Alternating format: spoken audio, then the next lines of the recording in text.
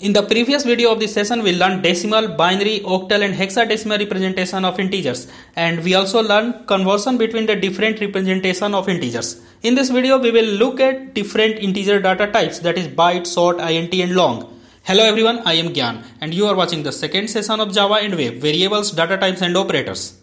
This slide shows various data types supported by Java.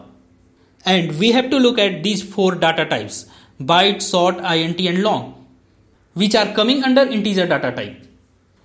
As we already seen that integer data types used to represent whole number means these four data types byte, short, int and long used to represent whole number.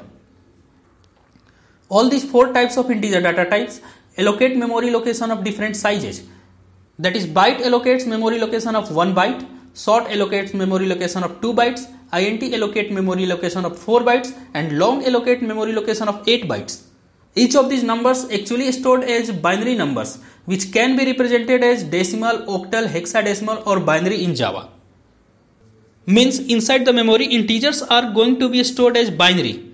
But as a programmer we can represent it as decimal, octal, hexadecimal or binary.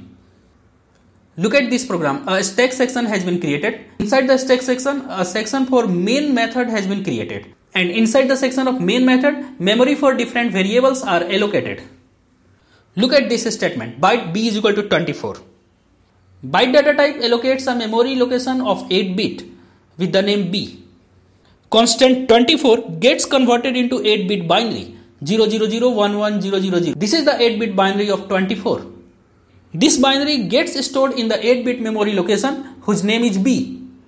And the similar thing happens with short int and long. With the short data type memory of 16 bit has been allocated with name s the constant 130 has been converted into 16-bit binary as this one and that binary has been stored in the 16-bit memory allocation whose name is S. Similar thing happens with INT. Memory of 32-bit has been allocated and the constant 46 gets converted into 32-bit binary which has been stored in the 32-bit memory allocation whose name is I. Same thing happens with long data type.